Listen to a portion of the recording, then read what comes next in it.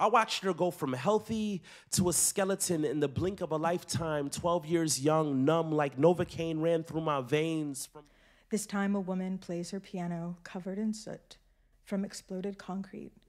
controlled by cryptochromes, hidden colors, blue green bacterial pigments in the eye.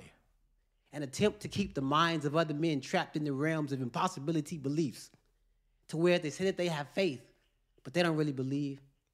even when I was little, I was the only one. Like, I always knew, like, something wasn't right about the way we lived. twirling God's hair between her fingers and our edges, fearful of unintentionally challenging her divinity. He ordered me to admit that these photos inspired me to write about the meaning of true beauty.